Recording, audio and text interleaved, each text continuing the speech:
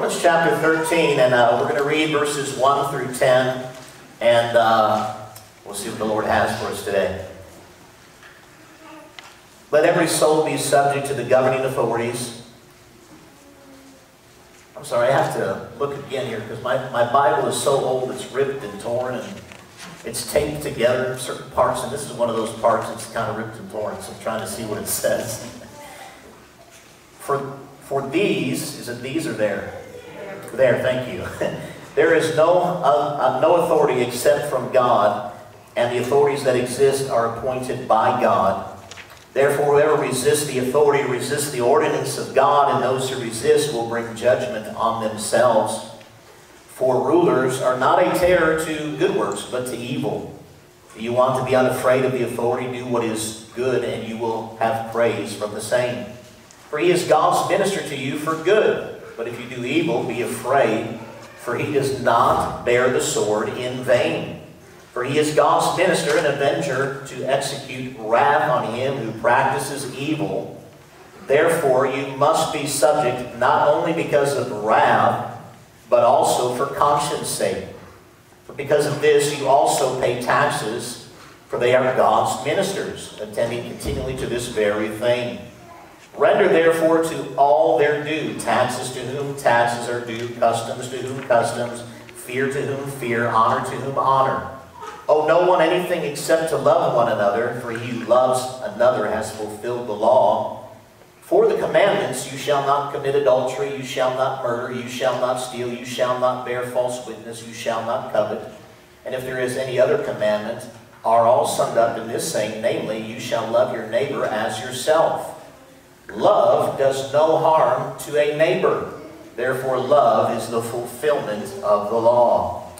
So we see here in this passage, and what we're going to attempt to do in the time that we have, I'm not sure that we'll be able to do everything we attempt to do today, uh, but we're going to simply uh, teach from this passage, uh, explain the meaning of the text, expound upon it, and then we're going to come back at the end, the very end of the service, the last couple of five minutes or so, and explain to you what we mean by the title that we have given you uh, regarding uh, the danger of partisan and identity politics in a constitutional republic.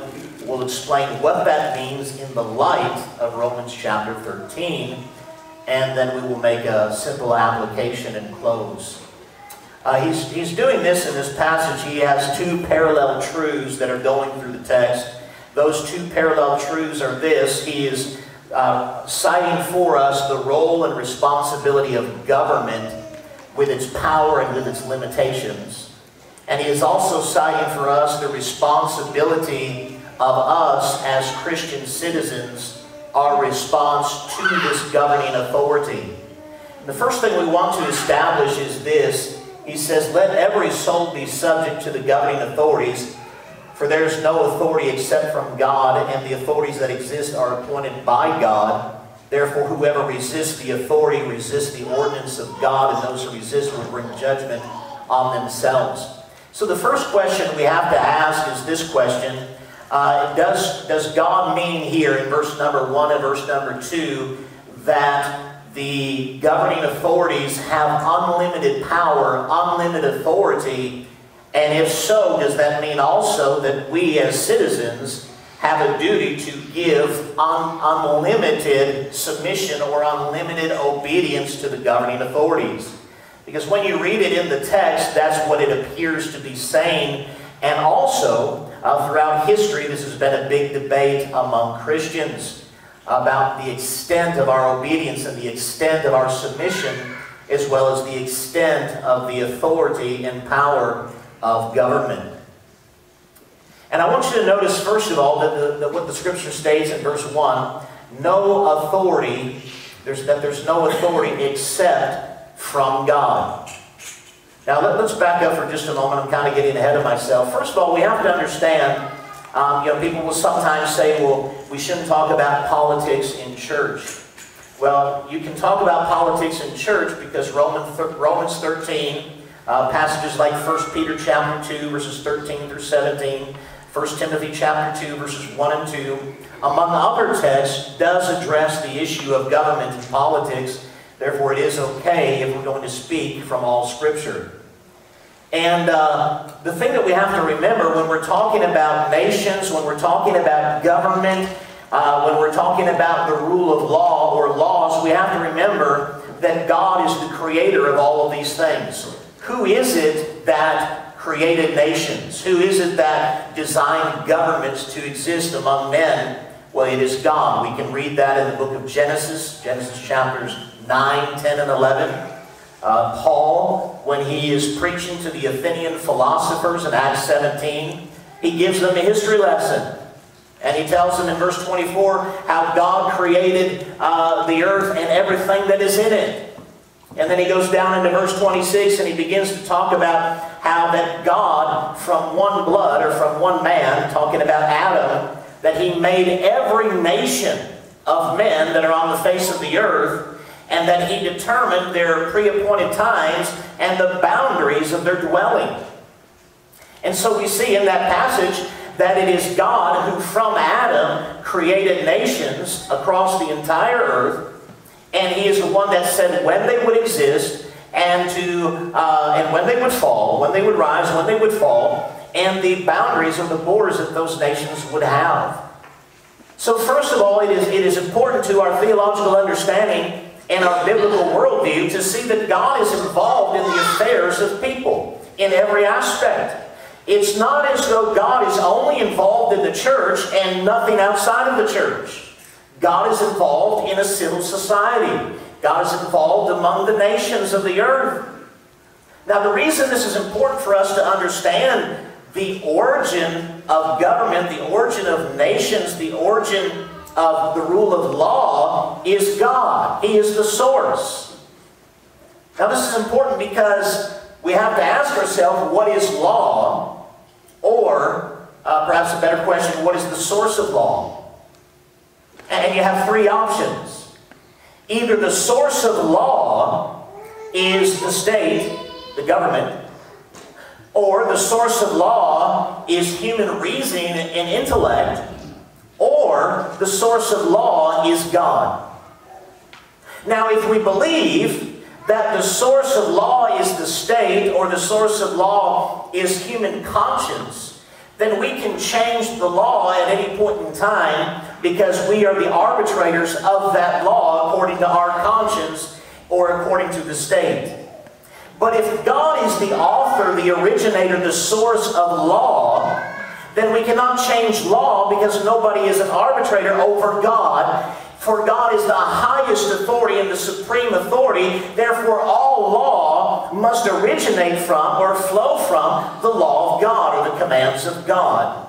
So that the laws of men are to act, in fact, as just as we are created in the image of God and we are to mirror God in every aspect of our lives, just as that is true, the, the, that we in a civil society, the laws of uh, human laws are to mirror the laws of God. They are to image the laws of God. And if they do not image the laws of God, they're no law at all because there is no law that is superior to the law of God. So we have to ask ourselves that how can we righteously rule or righteously govern if we do not know the one who originated government?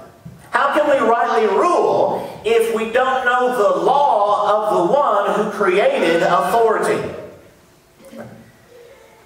Right? And, and, and, you can see real quickly because the more our nation becomes a secular nation and the less a Christian nation, the more we secularize our society and preach the humanism religion to our children in schools, the more we do humanism in our school and get away from uh, the God of Scripture, then we can begin to uh, get away from the, the source or the rule of law and, and, and the understanding that law cannot be changed because God is the superior authority over all. So it's important for us to understand, number one, God is the source. And you'll notice right away that it says there's no authority except from God and that the authorities that exist are appointed by God. So here you have two key words. From God and by God. From God and by God. Now, now here's the question. Um, if, if, if, if the authorities that exist are appointed by God or from God, then here's the, here's the question is this. We can see right away that the authority of human government is number one, delegated. It's from God. And if authority is delegated, what does that necessarily mean? It necessarily means that if I am in charge and I'm the one delegating that authority to you, it means that your authority is limited by the higher authority. So that the lesser authority doesn't have greater authority than the ultimate authority. The ultimate authority in this case is who? God. So God is the supreme authority. His law is the supreme law. And all we are is to carry out the, the, uh, uh, the, mirror image of the God of the law that we serve. And so we see number two, or we see two things again. Number one, we see the fact that um, it is both delegated and it is limited. That the, the authorities that be do not have any more authority than what God has assigned to them. Now the reason that's important is because in the remainder of the passage, he's going to show us the purpose of government and the authority that God did give to government. And by seeing that, we also see, therefore, the limitations of the role of that government, the limitations of its power, the limitations of its authority.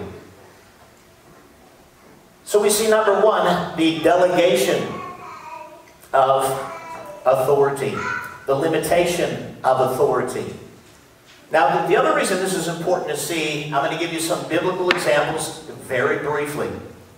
Um, to, to illustrate for you that we, we cannot believe that the government has unlimited authority and that we are to give unlimited submission to the governing authorities. Okay? Let me give you some quick examples, all right? And, and we're not going to turn to a lot of scriptures because I've got limited time.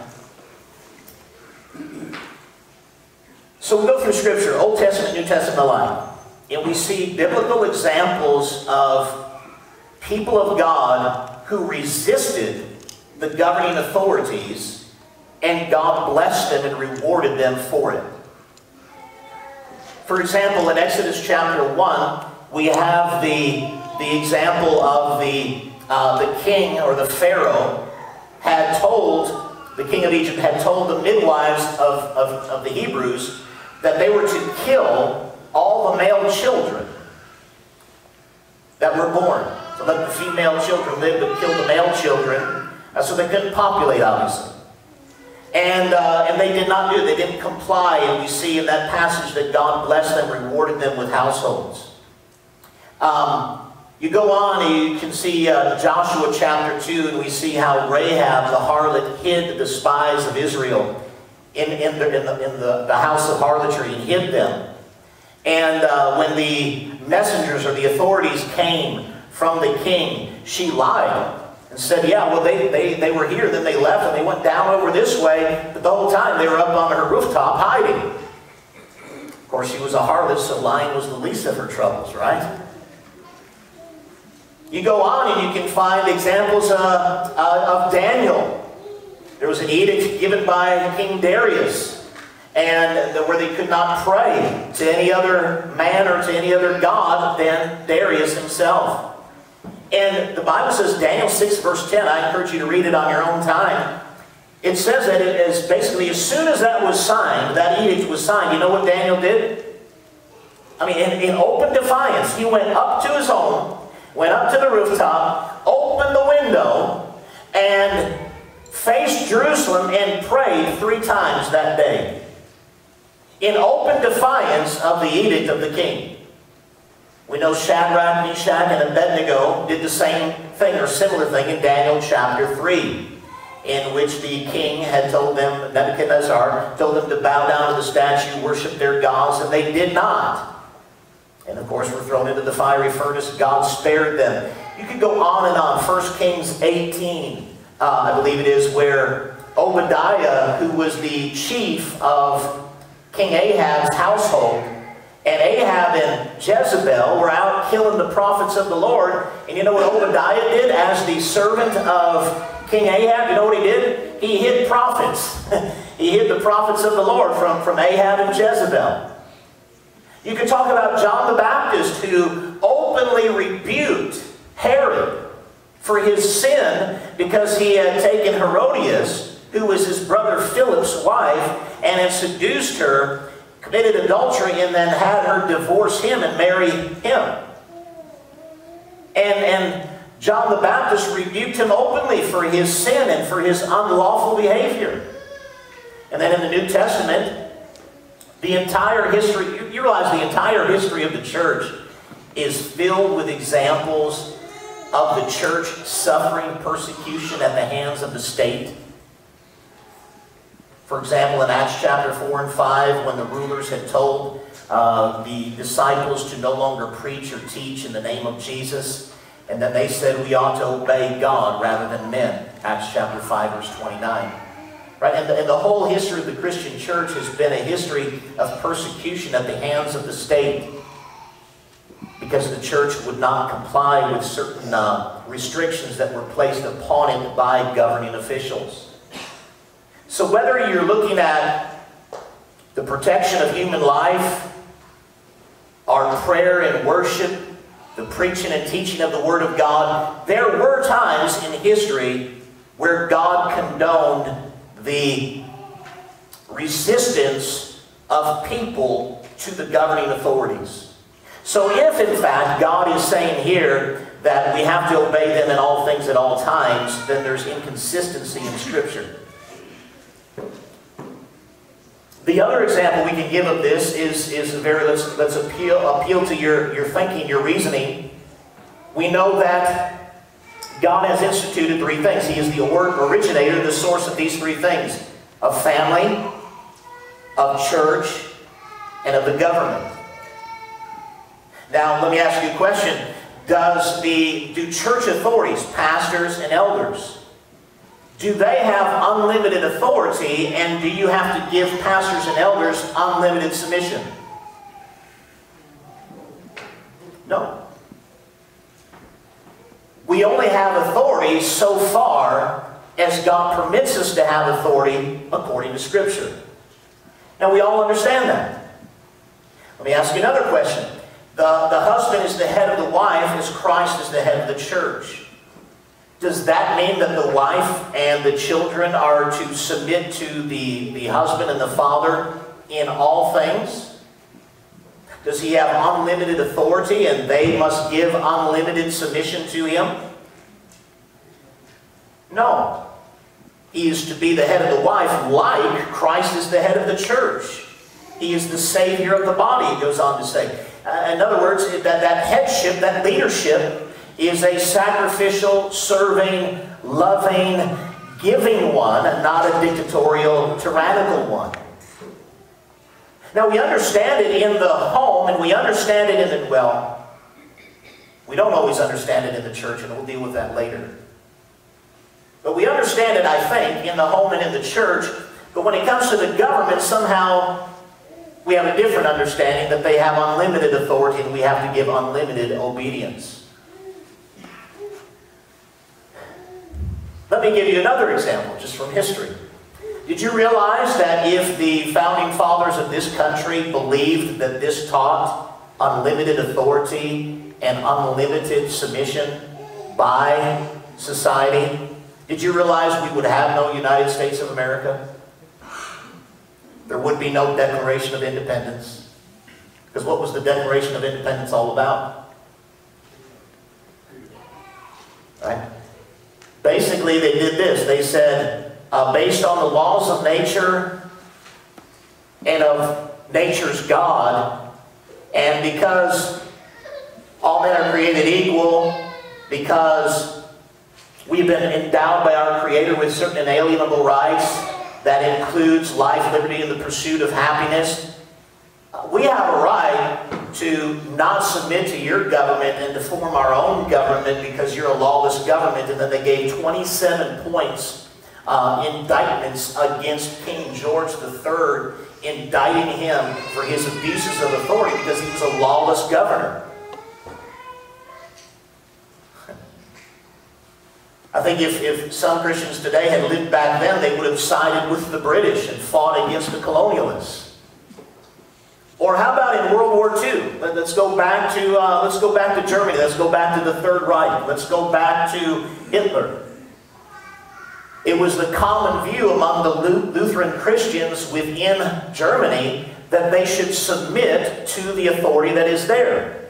That authority at the time being Hitler, who was a duly elected official, and they would not resist him, although he killed, what was it, 11 million people it's estimated at.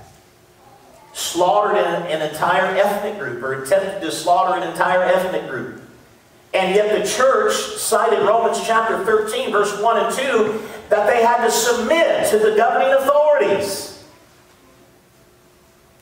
Do you think that they had to submit to the governing authorities when those governing authorities were murdering people? Is there not a higher authority than those governing authorities?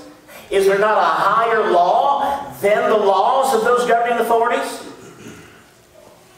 Which is why you read about a man, also in Germany at that time, a Lutheran theologian named Dietrich Bonhoeffer.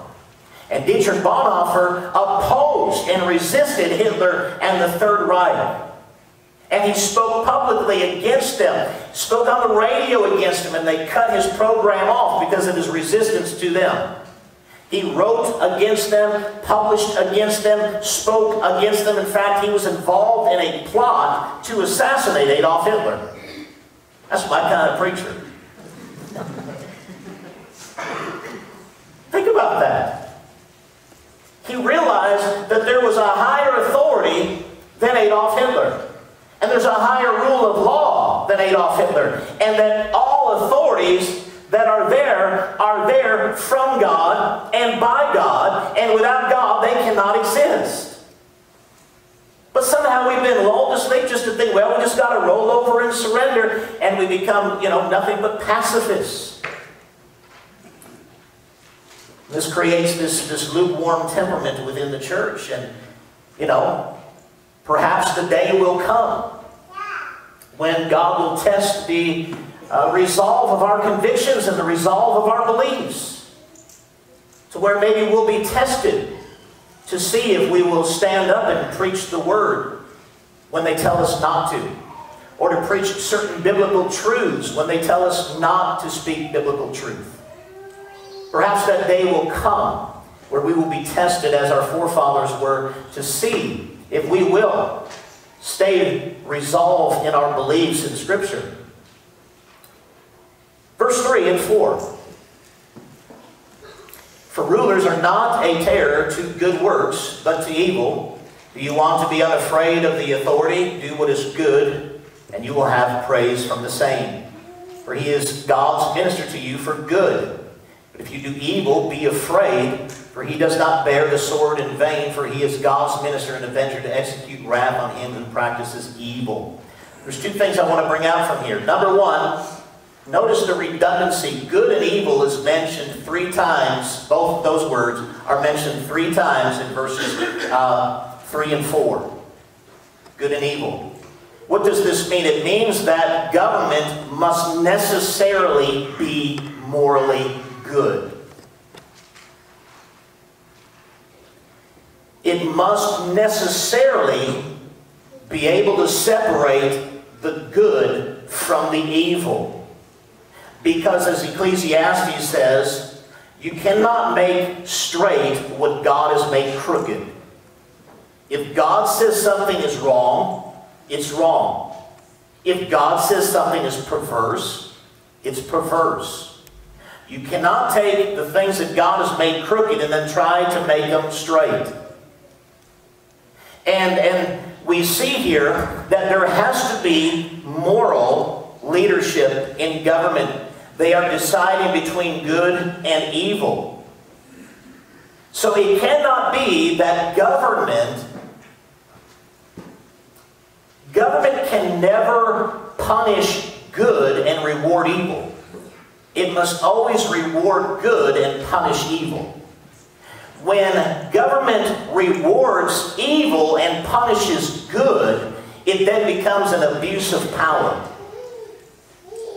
Do we have any examples of that today? Well, sure we do. We have, we have a whole uh, industry, much like the Holocaust, that just wipes out an entire generation of, of people in the womb. 61 million deaths by abortion since 1973, just within this country alone. Well, that is punishing good and rewarding evil. How is it doing that? It is rewarding the murderers who execute murder upon an innocent life in a womb. It is punishing good and promoting evil. That's just one example. There's, there's aspects of the welfare state that uh, rewards sin. It rewards sinful behavior and it rewards the, the dissolution of or the dissolving of the, the American family by incentivizing people to not get married and to just have children. That is rewarding evil and punishing good. And you could go on from there uh, to, to any number of things, right? Defunding the police, that's punishing good law-abiding citizens and rewarding criminal behavior. So, so there's, there's endless examples of this uh, that, that you could bring into, but a government must be morally good. The second thing I want to point out from these two verses is this truth that um, I want you to notice verse 2 talks about judgment. Verse 3 talks about that they are a terror to, not to good works, but to evil. He talks about the fact that they are avengers. He talks about that they execute wrath, that they bear the sword. You know, all of these different examples uh, uh, talking about the governing authority. Now, what does that mean, or what does that tell us right away? They're execute, they're avenging, exercising wrath upon those who practice evil. Right? They're punishing evil, rewarding good. What, what does that teach us? It teaches us that the primary role of government is to protect the citizens that are under that government's rule. To protect the citizens' uh, liberties and rights, their God-given rights and their God-given liberties, they are to protect them and they are to punish. So there's two points. Number one, protect. Number two, punish. They're to punish the evildoers, those that infringe upon the rights and the liberties of the other citizens. Right? Are you following me now? Those two things are essential to the argument that Paul is making from, from uh, the inspired utterance of God, is that these two things are essential. There is protection and there's punishment, or you could say justice. Now, biblical justice is different than social justice. Social justice teaches the only way to make people equal is to redistribute people's wealth and give them all the same amount of everything. And that's not what biblical justice is. Biblical justice is retributive justice. It is not restorative justice. Restorative justice is the business of private citizens. It is the business of the clergy, the church, counselors, individuals that seek to bring about transformation and reformation in a person's life. It's not the business of the state. Retributive justice. Eye for an eye, tooth for a tooth, Life for a life. Punishment that fits the crime is all that means. Right? And this is the two purposes of government, and I'm running out of time already. These are the two purposes of government. Protect, not provide, protect. Not welfare state, protect. Who are they protecting? They're protecting its citizens' personal rights and liberties. Who are they protecting it from? those who they are punishing who are doing evil that are infringing upon your personal rights and your personal liberties. That's the only purpose of government. That's it. Now, he does give us a third purpose. Uh, it's one that we don't like to talk about, but if you understand the biblical view, you'll, you'll understand it and, and support it. And he talks about them being God's ministers and that they, uh, uh, verse number six, because of this you pay taxes, for they are God's ministers, attending continually to this very thing. Let me ask you a question, and I'm going to try to wrap this up somehow. Notice why, I mean, let me ask you this question. Why does the issue of taxes come here and not earlier? Why doesn't he talk about taxes in verse 1, 2, or 3? Why does he talk about the purpose of government first, to protect and to punish, to protect injustice? Why, why, does he, why does he mention it here? Because the purpose of taxes is simply to provide for the purpose of which government exists. So the taxation is not to be an excessive taxation to punish citizens. It is taxation for the purpose of raising a defense, of having a military, of having police officers, of having law enforcement, to protect the citizens, and to punish the evildoers. It is not simply taxation just for the sake of taxation to do whatever we want to do because we want to come up with a million and one different programs. It is there to provide for the purpose of which government exists. Say amen, somebody. We'd be paying a whole lot, ta- whole lot less taxes if that were the case today. So we can all say amen to something like that. In closing, you'll notice in verses 9 and 10 that he cites the law of God. Why? Because the law of God is the foundation for all human law. That if human law does not mirror the law of God, it is no law at all. It would be simply despotic to uh, overthrow the rule of God, the law of God, to insert our own law that does not mirror the law of God. The law of God ultimately comes to this conclusion in verse 10 love does no harm to a neighbor. Therefore, love is the fulfillment of the law. It does no harm to its neighbor. neighbor. So again, this is going back to the rule of law and why the rule of law is important because the rule of law necessarily dictates to us that the purpose of government, again, the purpose of the rule of law is what? Protection of the rights and liberties of its citizens, and the punishment of those who do not abide by that. Because love does what? It doesn't work any ill, it doesn't work any harm to its neighbor. And government is there to protect the neighbor, that to protect any infringement upon that individual. Now, in closing, what in the world does this have to do with the title, and this will be very brief, what does this have to do with the title that we have today, of The Dangers of Partisan and Identity Politics in a Constitutional Republic? And this is it. I can do this in two to three minutes. I promise. I promise.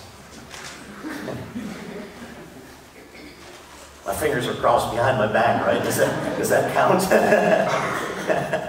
Probably not. All right.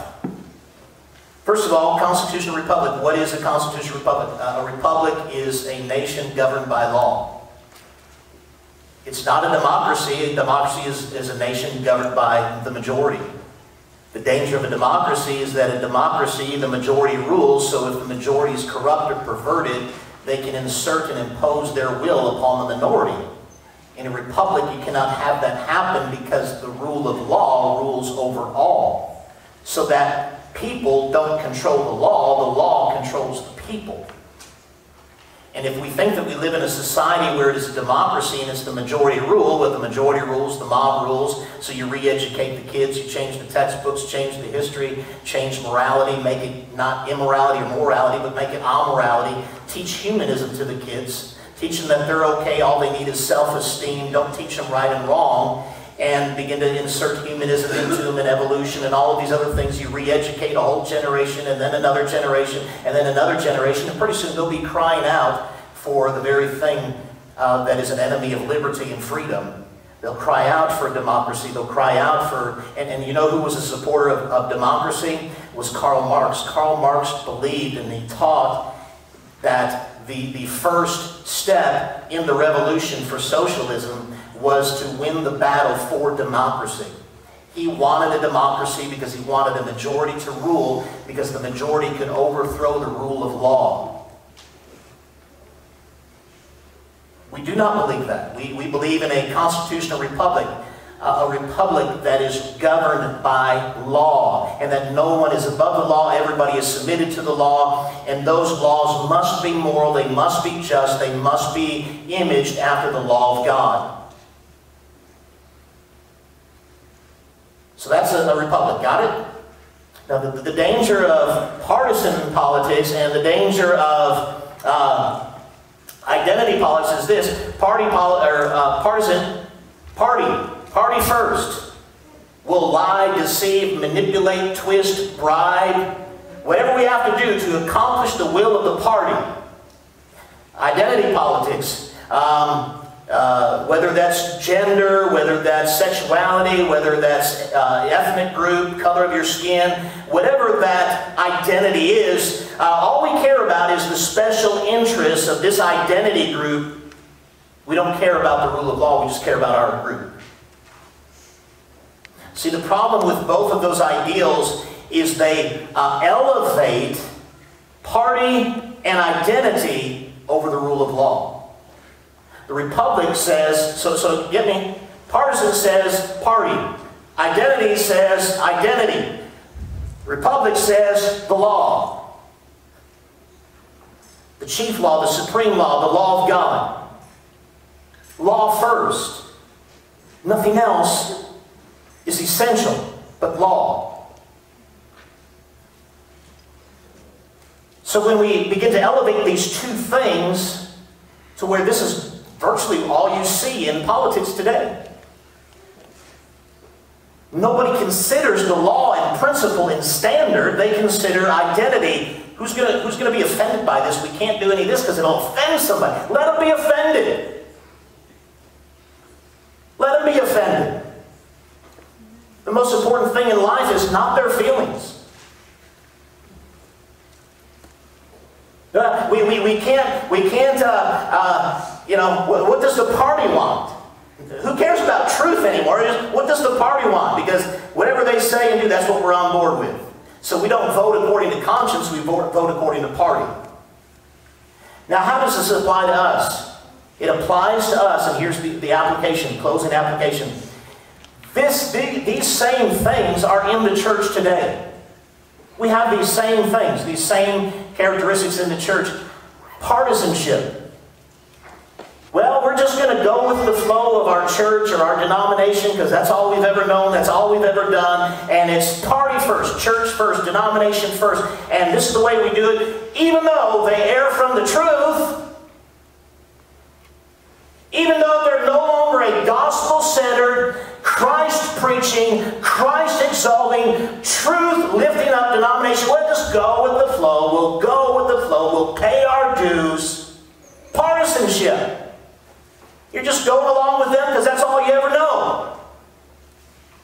And then identity. How many churches are consumed? How many churches, just in the last number of weeks, acting like complete fools by supporting Black Lives Matter?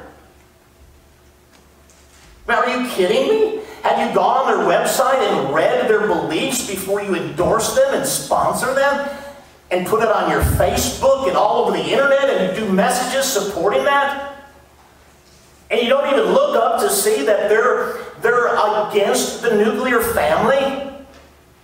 They don't want husband and wife and children. And, and, and you want to endorse that type of thinking, that type of ideology? I mean, we live in a society where all lives matter is racist and black lives matter is not. What's wrong with you? We, get out of this partisan identity garbage and stand for truth, stand for the gospel. Go by what is a principled decision, not what does the mob tell you. Not what does the party say, not what does my denomination say. What does our denomination sponsor this or support this? No, what does the Scripture say? What does the Word of God say? What does the supreme law, the supreme judge of the world say? And follow Him.